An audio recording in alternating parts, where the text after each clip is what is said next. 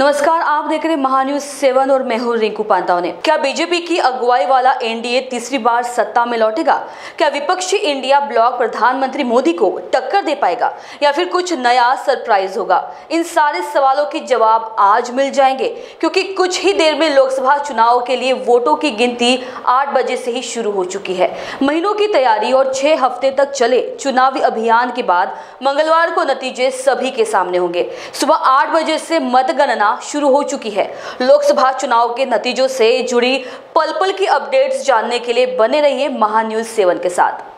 लोकसभा चुनाव 2024 के नतीजे कुछ ही देर में आने शुरू हो जाएँगे। महाराष्ट्र की 48 सीटों पर शुरुआती पाँच चरण में चुनाव हुए थे। बीते लोकसभा चुनाव में महाराष्ट्र की 48 सीटों में से एनडीए ने 41 सीटों पर कब्जा किया था। अकेले बीजेपी के खाते में 23 सीटें गई थी।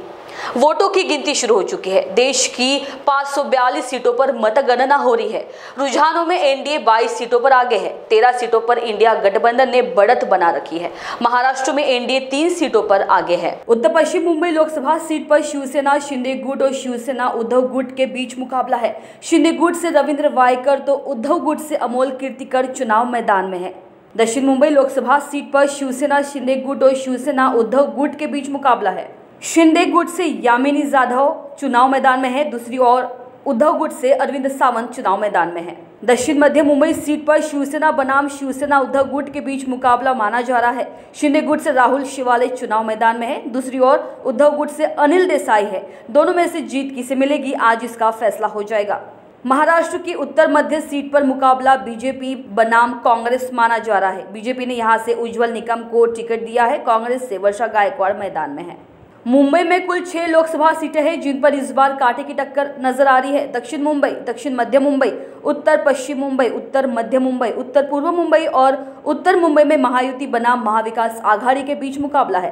कुछ सीटों पर शिंदे बनाम उद्धव ठाकरे तो कुछ सीटों पर बीजेपी बनाम कांग्रेस का मुकाबला है।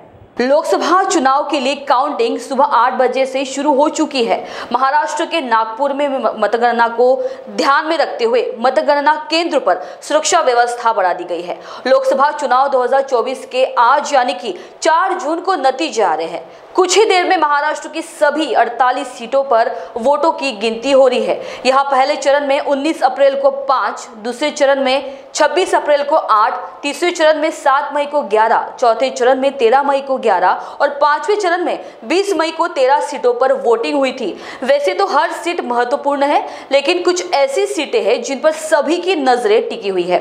इसमें मुंबई उत्तर सीट है। यहाँ से केंद्रीय मंत्री पीयूष गोयल चुनाव मैदान में है। साथ ही मुंबई दक्षिण से अरविंद सावंत शिवसेना यूबीटी मुंबई उत्तर मध्य से वर्षा गायकवाड़ कांग्रेस से तो भिवंडी से कपिल पाटिल भाजपा और बीट से पंकजा मुंडे भाजपा मैदान में है। इलेक्शन की पल पल की खबर जानने के लिए महान्यूज सेवन के साथ बने रहिए। नमस्कार। आप पहुँचना चाहते हो अपने करियर की ऊंचाइयों पर तो करियर गाइडेंस के रूप में आपकी मदद के लिए नागपुर में आया है। Kiyan career point academy. Kiyan करवाएगा IIT JEE NEET AIIMS KVPY MHT CET और बोर्ड एग्ज़ाम की भी पक्की तैयारी।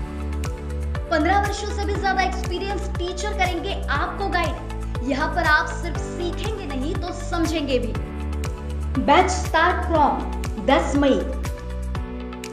Our address Kiyan career point. Block number दो, Omkar Nagar, Bisa road near Kala Maruti temple Jaywant Nagar, Nagpur. Our contact double eight three zero four seven nine three eight zero और nine zero four nine zero seven nine six seven four